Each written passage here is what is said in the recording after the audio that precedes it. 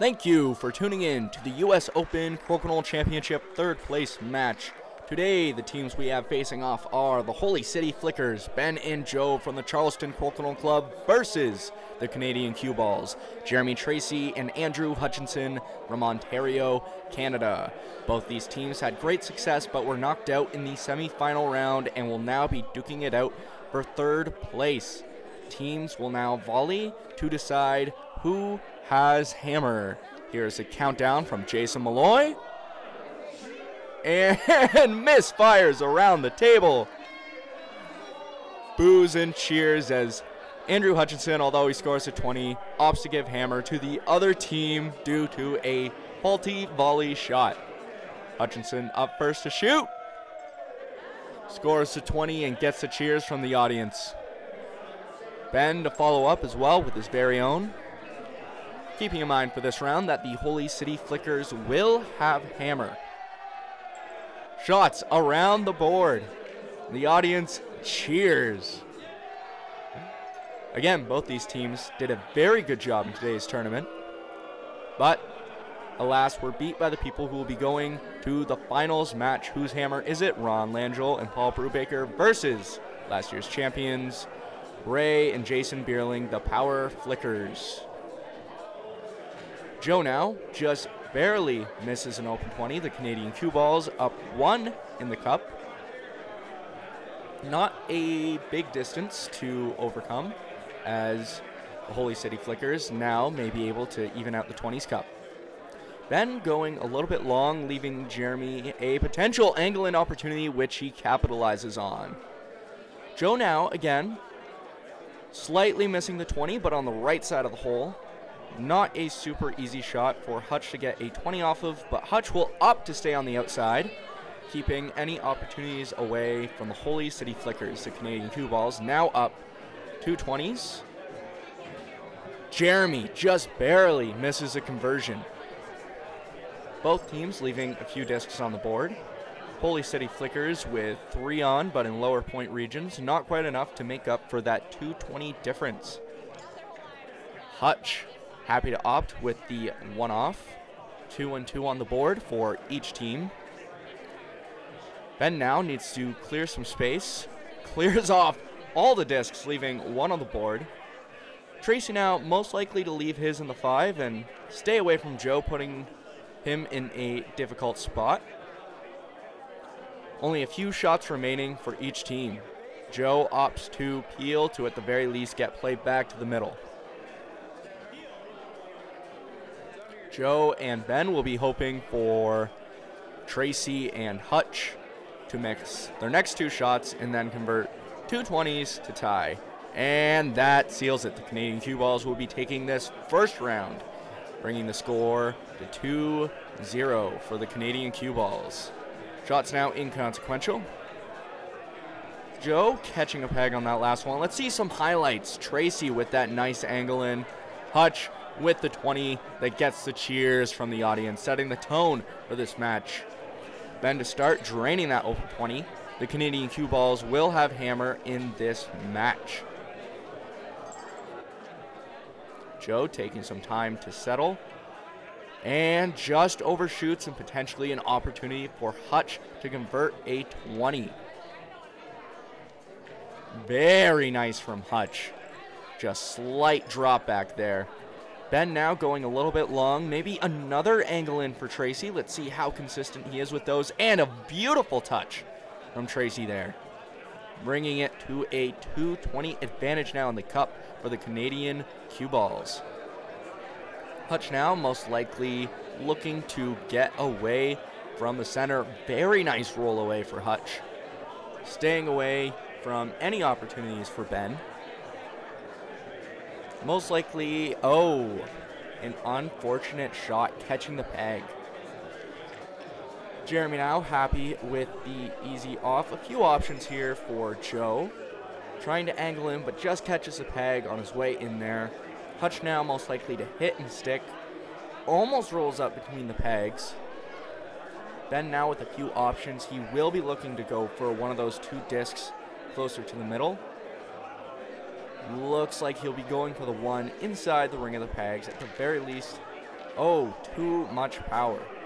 That was the right angle, just a bit too much juice. And Tracey bounces out, maybe leaving an opportunity for Joe. Certainly not a gimme, but and just lips out. Very good bid on Joe's part. Hutch now with the opportunity. And he drains it, bringing it to a 320 advantage for the Canadian cue balls. See Tracey gesturing to Hutch to let him know where they are at. Jeremy now with an open 20 opportunity. Lips out, going a little far again. This time, not as much opportunity for Joe, but able to get the off and not leaving Hutch a lot to work with. Hutch follows through a bit too much. Let's see if Ben is able to convert the 20, and he does. Very nice touch. Doesn't get the off, but closing that gap ever so slightly.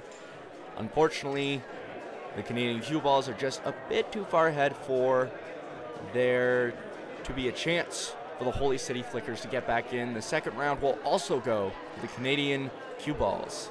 We see another very nice touch from Tracey there. And Ben with a nice backboard 20.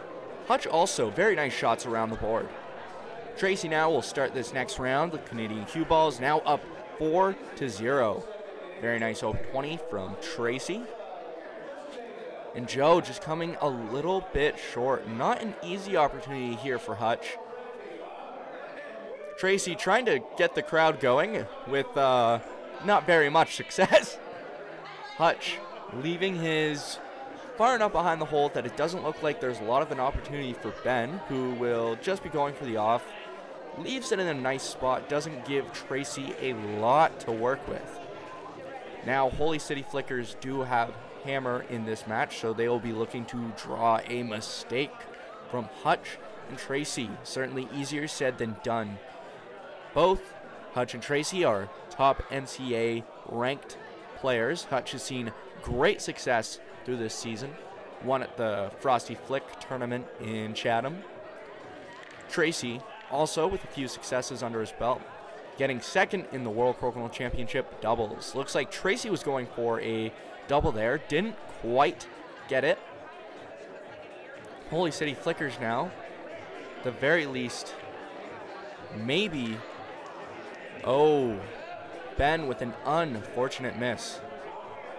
If Tracey gets this off now, the Canadian cue balls are going to be in a very good position with a 120 advantage right now. Holy City Flickers do have hammer, but they need to make something happen if they want that hammer advantage to mean something.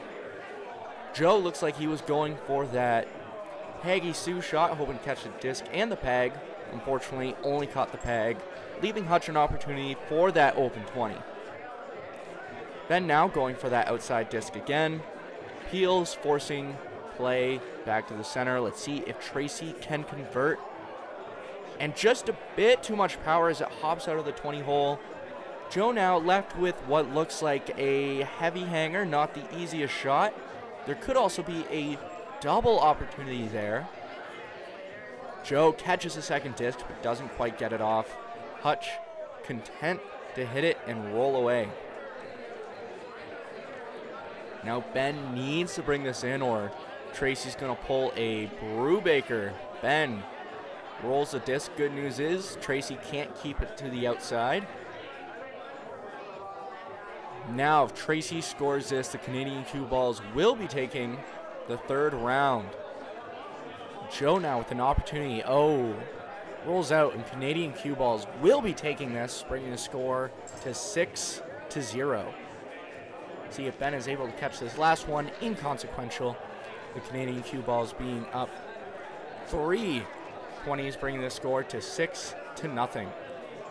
See another open 20 from Hutch. Joe to start this round. The Canadian cue balls will have hammer.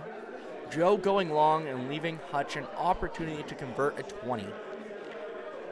Very nice shot, just drops in. Ben also going long. Tracey could have a touch opportunity here again. He's been on those tonight, continues to be on, bringing this to a 220 advantage. Joe closing the gap ever so slightly, scores his very own 20. I'm curious to see what Hutch does here. He doesn't need a 20 right now, so he might be going to roll away. Very nice. Leaves it outside of the pegs on the far side from Ben, not leaving him a lot to work with. Ben might, might be able to, yes, nice hit and stick there. Might have opened the door slightly for Tracey. We'll see if he goes for it. Just opts to hit and stay there in the 10. Not a bad shot. Joe unfortunately catches a few pegs. Both the discs knocking back. Hutch content to stay on the outside. Ben opting to peel. Tracey now for an open 20 opportunity. Very nice. Making the gap even bigger now. Canadian cue balls up 120 and with hammer advantage with just less than half the shots to go in a very nice position right now. But Ben with an opportunity to convert doesn't quite get it. He does leave his disc in a difficult spot though. Be very hard for Tracy to get the off on this. Not sure if he'll be looking for. Looks like he'll be going from the outside, maybe setting up an assist for Hutch doesn't necessarily get the assist. I will be asking Tracey what his intentions were on that shot. Joe now looking to get maybe going for that. I see what he was going for, hoping to bump his own disc into the 20, going off the blue disc. Didn't quite work out that way. Hutch now content to stay on the outside. That red disc might be or sorry, that blue disc on the outside might be set up well for Ben to angle in. Let's see if he's able to convert. Not quite. He catches his, the peg on the way in. He does get the off, but he also loses his own shooter. Tracey now getting the off, leaving his between the pegs. The Canadian cue balls are up a 20, so the Holy City Flickers will need to make something happen on their next shot to force Canadian cue balls to shoot at all. See where Hutch leaves his disc. Ooh, very nasty spot. Ben will need the off and the follow through 20. Unfortunately, doesn't get it. Last shot inconsequential now. The Canadian cue balls will be winning this match. Was a race to seven. This will be eight points. Tracey now. Rude. Bumps the last disc into the 20 inconsequential. The Canadian cue balls are up by 10 points on the board and have won the third place match. Congratulations to both teams, both the Canadian cue balls and the Holy City Flickers, for great performances today. The Canadian cue balls have taken third place and will be going home with that $400 prize. Thank you for tuning in and stay tuned as the finals match will be coming out very shortly between the Power Flickers, last year's champions, Ray and Jason Beierling, versus Ron Langill and Paul Brubaker. Whose hammer is it? Happy flicking and make it a great day.